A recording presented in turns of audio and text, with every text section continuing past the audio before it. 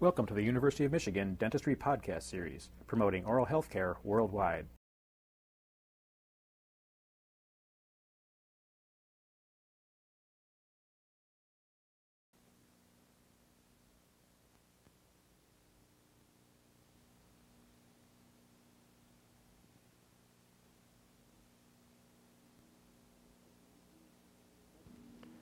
I'd like to review some of the characteristics of our mandibular molars, starting with our mandibular first molar, which is our five cusp tooth, the most strong distinguishing point, where we have three cusps on our buccal surface and two on the lingual.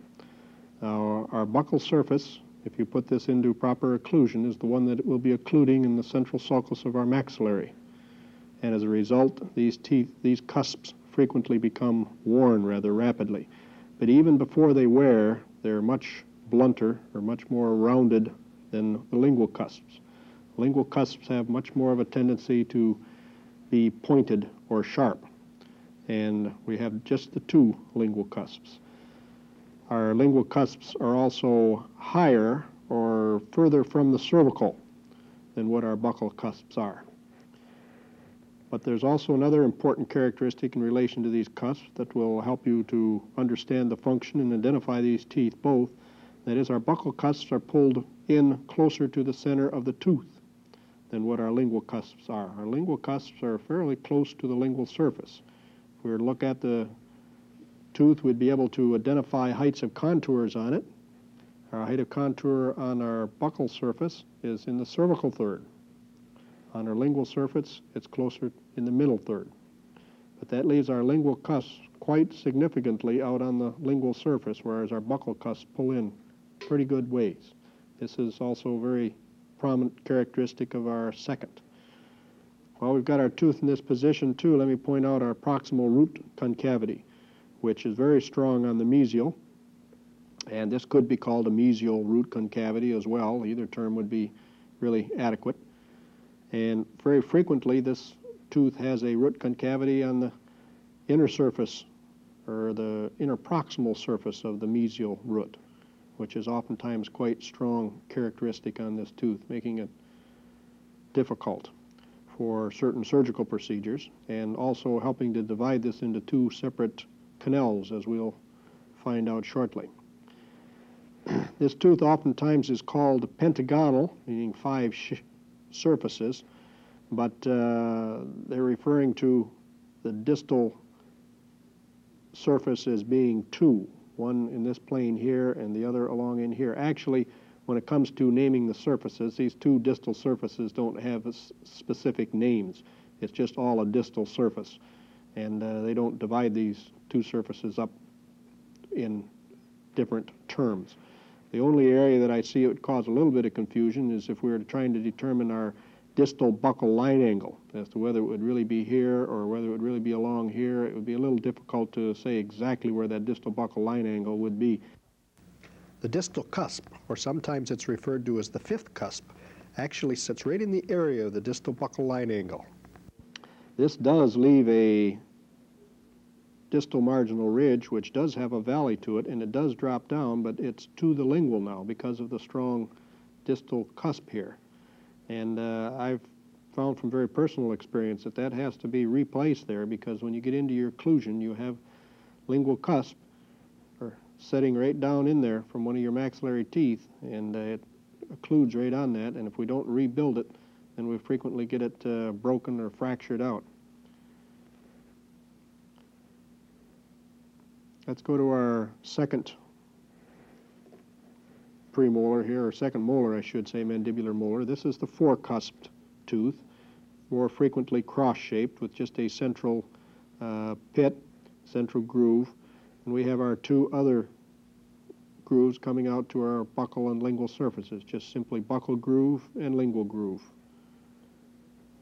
Uh, one of the difficulties in this tooth is distinguishing uh, buccal from lingual on it and mesially distally too, as far as that's concerned, to try to, it's a fairly rectangular tooth, and without that fifth cusp fitting on your distal marginal ridge, it becomes a little bit harder to identify.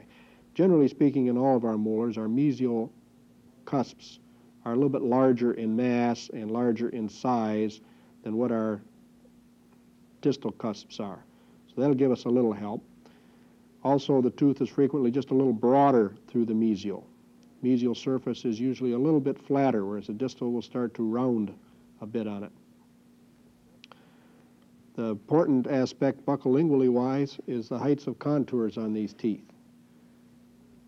We've got a very distinct buccal height of contour which is towards the cervical, in the cervical third, whereas the lingual is more evenly convexed and up towards the center or middle third of the lingual surface. This was the same as we found in our uh, premolars. Our buccal cusp is pulling in onto the center of the tooth more, but not as much as what we have in our premolars. Our lingual cusps are still out close to the lingual. So these are some characteristics you can use to help identify them. Here's a stained area that shows us a contact area.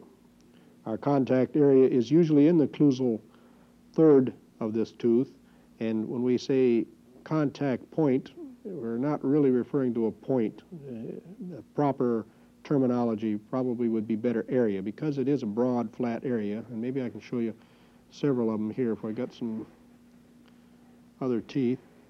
Sometimes these will stain, and sometimes you can see the light reflection. This one shows a light reflection pretty good. We got a very broad area here.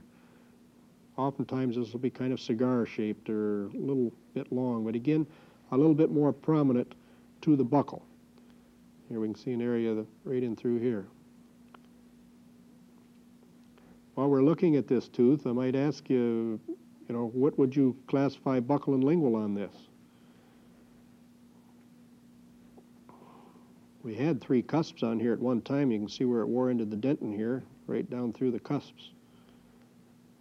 That would make it the buccal surface by having three cusps, but also make it the buccal surface because that's where our wear is occurring. If we put this into proper occlusion, this is occluding with our maxillary teeth quite heavily, whereas the lingual surface is not occluding directly with the maxillary teeth unless we go into our lateral excursions.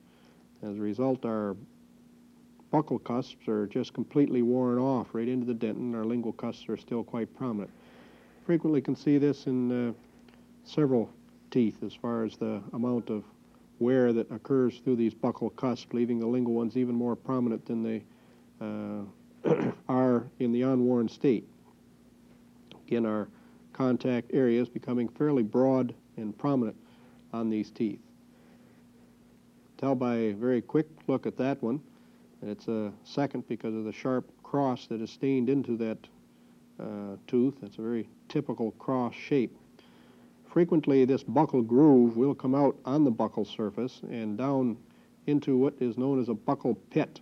And oftentimes this little pit will become carious. This buccal groove carry halfway down, although not frequently over the height of contour, frequently half, two-thirds of the way down the buccal surface and end in a pit that oftentimes does need restoration. On the lingual, and sometimes this is helpful in identifying lingual, this groove doesn't come down onto the lingual surface very far. Our lingual groove comes down just a little bit. If we, several students have pointed out our uh, card to us, we've got two terms on here which are not exactly uh, the same, but they're called the same. And this is a little bit confusing. Our mesiobuccal groove that comes out of our mesial pit, maybe I can mark this with some red here, is a mesiobuccal groove. We're also calling this whole groove out here mesiobuccal groove, which leads for some confusion. As I said, technically, we should include the three surfaces on these grooves here. Mesiobuccal occlusal groove would be the proper technical term for it. We generally throw away the term occlusal because this is really the only place in the mouth where we get a conflict. And just call these mesiobuccal grooves and uh, uh, mesial lingual groove, and uh, we toss out the occlusal terminology. But if we've got to differentiate between the two, then we probably should call this mesial buccal occlusal groove. Actually, this could be divided down into two grooves too if we wanted to become technical. We call it the mesial buccal groove until it gets up to the buccal cusp bridge and then call it the buccal groove after it crosses the buccal cusp bridge. Uh, this doesn't occur with our distal buccal groove. This is called distal buccal all the way, right, all the way out to the occlusal surface and down onto the buccal surface. Just distal buccal groove, and the same on our lingual groove. It's just called lingual groove all the way. But if somebody's talking about a buccal groove on a mandibular first molar, they're usually talking about this more centrally located, prominent uh, uh, groove, which can be equally called a mesial mesiobuccal groove. You've been listening to a presentation from the University of Michigan School of Dentistry, which is dedicated to supporting open learning and open educational resources. This recording is licensed under the Creative Commons. It may be reused and redistributed for nonprofit use. Please attribute materials to the University of Michigan School of Dentistry and redistribute under this same license. For more information on how this and other University of Michigan School of Dentistry recordings may be used, visit www.dent.umich.edu/license.